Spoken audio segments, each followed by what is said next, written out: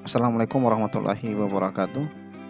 Dalam kesempatan yang baik ini saya akan membahas pengendalian gulma pada lahan sawah menggunakan herbisida Serendi 28 WP Namun sebelum saya lanjutkan berkenan kitanya para sahabat tani sekalian mengklik tombol subscribe agar channel ini terus berkembang untuk menjadi sumber ilmu pengetahuan bagi para petani. Para sahabat tani sekalian, pada dasarnya gulma merupakan organisme pengganggu tanaman yang terbilang gampang-gampang susah dalam pengendalian dan tentu jika dibandingkan dengan UPT yang berasal dari jenis serangga maka gulma lebih sulit dalam pengendaliannya. E, para sahabat tani sekalian dibilang gampang karena jika ditangan dengan tempat maka tidak akan mengganggu tanaman padi. Namun sebaliknya sangat menyulitkan dan efek buruk pada tanaman padi jika ditangani, ditangani tidak sesuai.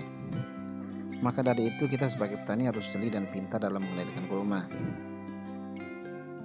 jeli dalam menentukan waktu yang tepat, pintar dalam memilih herbisida agar penggunaan herbisida tidak berdampak pada tanaman padi. Dalam memilih obat rumput juga tidak boleh sembarangan.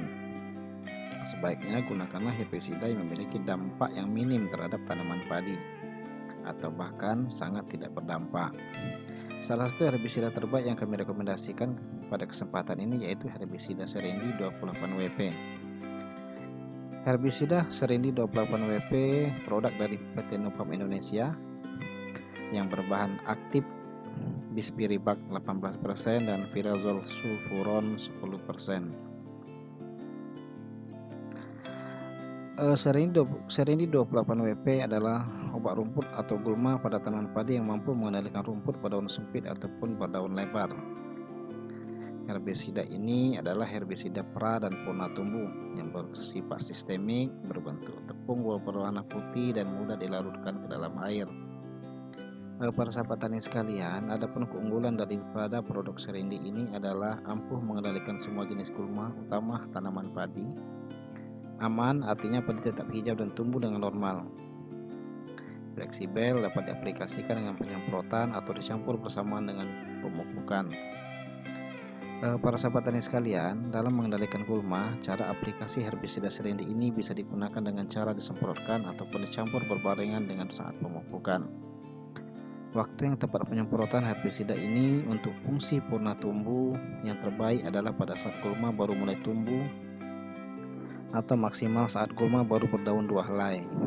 Karena pada waktu ini struktur jaringan gulma masih sangat lemah sehingga memudahkan bahan aktif daripada herbisida ini mematikan sel-sel gulma tersebut.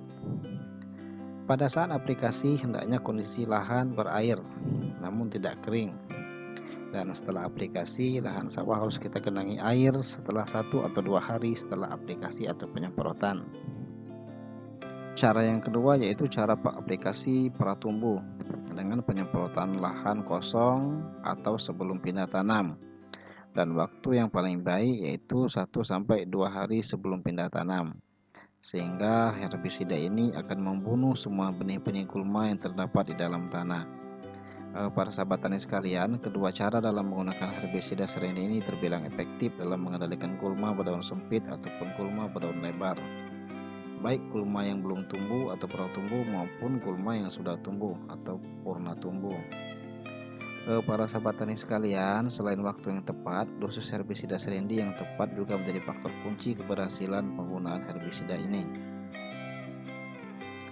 Untuk ukuran dosis serendi yang tepat yaitu 100 gram per hektar atau 0,5 gram per liter air. Adapun harga daripada produk Nopam ini pada kisaran 30 sampai dengan 35 ribu rupiah.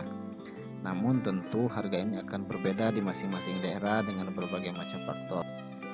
Para sahabat tani sekalian, demikian yang dapat saya sampaikan. Semoga bermanfaat dan terima kasih.